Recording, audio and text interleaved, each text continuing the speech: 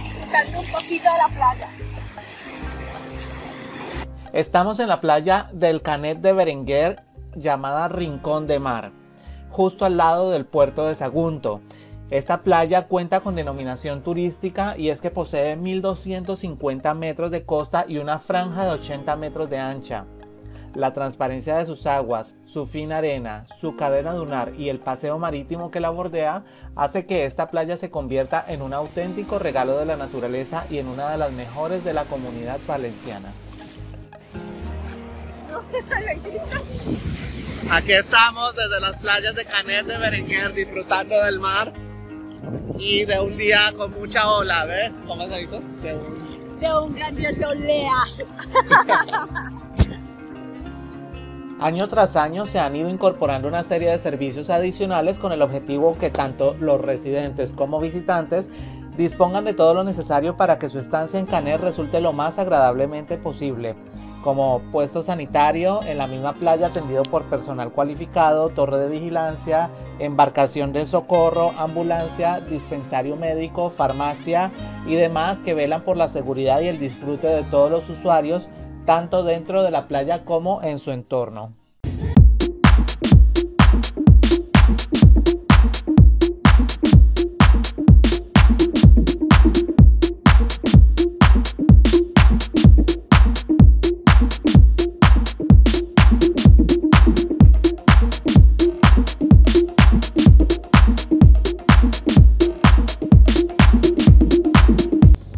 Tanto la playa de Puerto de Sagunto como la de Canet están llenas de actividades, tienen juegos infantiles, canchas de voleibol, se puede practicar surf y también vamos a encontrar los famosos chiringuitos donde las personas pueden disfrutar una bebida al lado de la playa. Ahora nos dirigimos al pueblo de Sagunto donde vamos a descubrir su castillo y su teatro romano, que son dos de los lugares más importantes e icónicos de este pueblo. La ciudad tiene dos núcleos principales, el casco histórico o Sagunto ciudad, situado en la falda del castillo y del teatro romano y puerto de Sagunto a 5 kilómetros del casco histórico. Sagunto relata a través de sus nobles piedras la historia de culturas majestuosas y decisivas en la historia de la península ibérica. Un paseo por el conjunto histórico artístico poblado de vestigios de siglos pasados y de monumentos nacionales proporciona un viaje en el tiempo por la importancia del patrimonio histórico y arqueológico de la ciudad. Hola a todos, bienvenidos a Sin Rumbo Fijo. Hoy le vamos a enseñar sobre la ciudad de Sagunto. Acompáñame.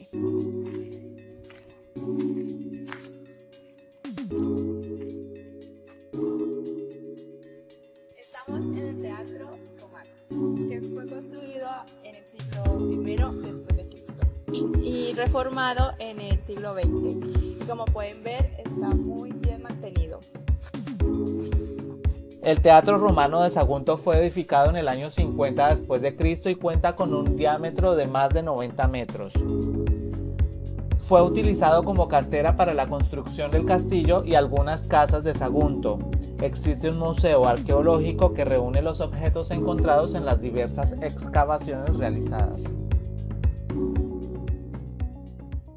Junto con el castillo es uno de los iconos más importantes de la ciudad de Sagunto y en 1896 fue declarado Monumento Nacional de España. Actualmente se encuentra en uso y representa obras teatrales principalmente en verano. Estoy súper sorprendido positivamente con este teatro romano de la ciudad de Sagunto porque está en perfectas condiciones. A este lugar le caben 4.000 personas y hoy en día se usa para festivales y de uso escenográfico. La entrada es gratuita y queda justo al lado del castillo. Es un tour que está súper recomendado Así que vengan conmigo que vamos a seguir recorriendo esta área.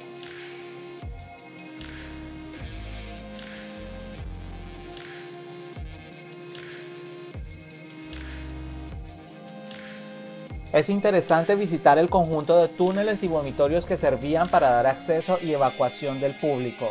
Como la mayoría de los teatros romanos, goza con buenísima acústica.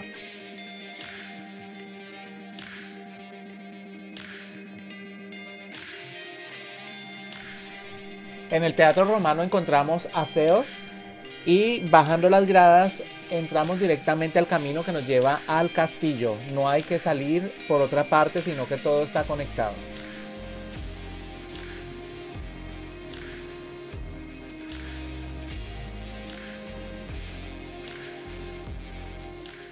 Empezamos el recorrido hacia el castillo de Sagunto. Acompáñenme.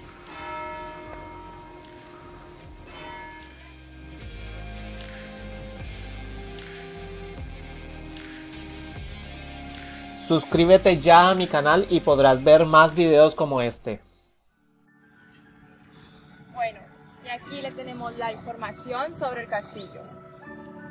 Eh, trae estos códigos eh, donde los escaneas y sale un audio con la historia del castillo.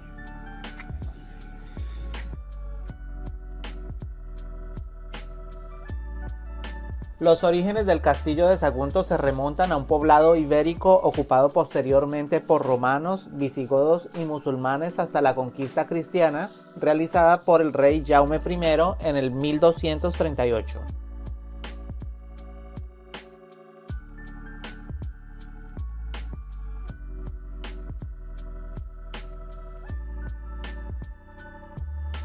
El castillo que data del siglo X tiene antecedentes sobre emplazamientos donde se asienta ya que fue utilizado por los íberos y posteriormente otras civilizaciones que llegaron a ciudad.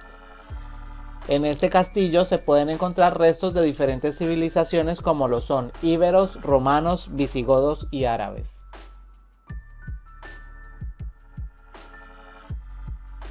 Este castillo fue declarado Monumento Nacional en 1931 y en la actualidad se haya dividido en siete plazas o recintos independientes, contemplándose desde su cima un bello paisaje de huerta y el cercano mar Mediterráneo.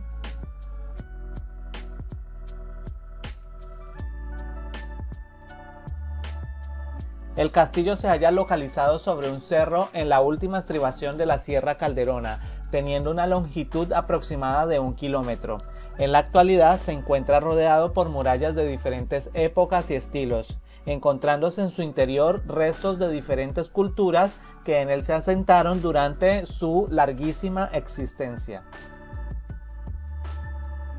Aquí podemos apreciar la plaza de armas a la que se accede por la actual puerta de entrada al recinto. En esta plaza se conservan los restos más importantes de construcciones antiguas del foro municipal.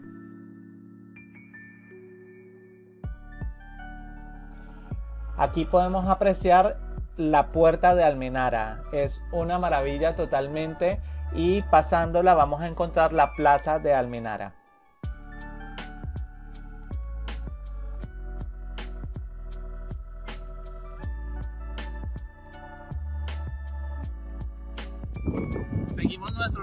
Por el castillo de Sagunto y esta puerta que ven aquí es la puerta de Almenara. Vamos a atravesarla a ver qué nos encontramos del otro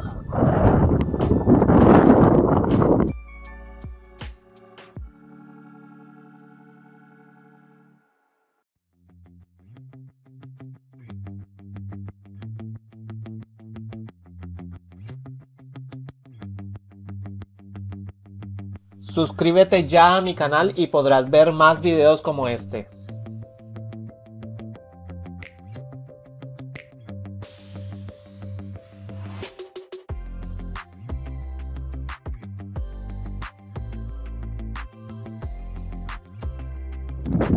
Les recomiendo este punto que está súper interesante porque tenemos una vista panorámica de todo el lugar.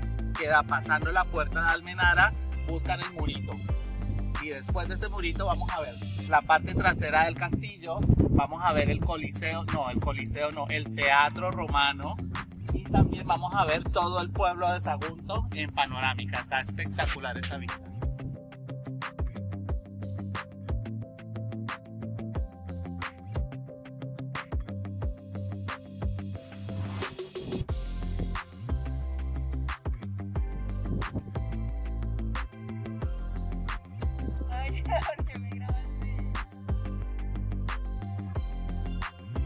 Subiendo hacia la parte occidental vamos a encontrar la puerta de Mahoma y el aljibe de las 21 columnas. Posteriormente en la plaza de San Fernando se encuentra el llamado Antiquarium Epigráfico. Bueno, ahora estamos en el anticuario epigráfico eh, del castillo de Sagunto.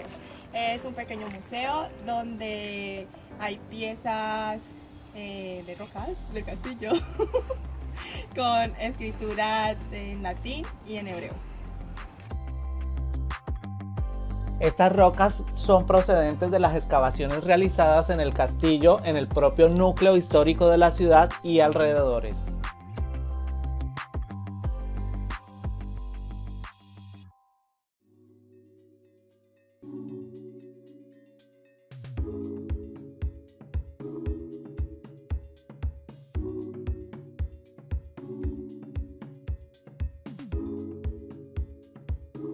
En la parte más occidental encontramos dos plazas y varias torres, la Plaza de la Ciudadela y la del 2 de Mayo.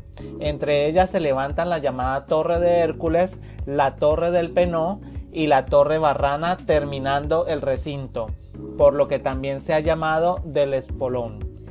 En la ladera sudeste se hallan los restos de la muralla ibérica. Como dato curioso, esta fortaleza fue utilizada por las tropas francesas durante la Guerra de la Independencia al inicio del siglo XIX. Suscríbete ya a mi canal y podrás ver más videos como este. Por fin hemos llegado a la parte más alta del castillo y definitivamente las mejores vistas están desde aquí. Tenemos el pueblo, tenemos montañas, tenemos una panorámica de todo alrededor vale bastante la pena de que se tomen el tiempo de venir a visitarlo porque la entrada es gratuita, el recorrido es más o menos una hora y media, no es eh, cansón, se puede hacer fácilmente y les va a encantar. Espero que tengan la oportunidad de venir a visitarlo.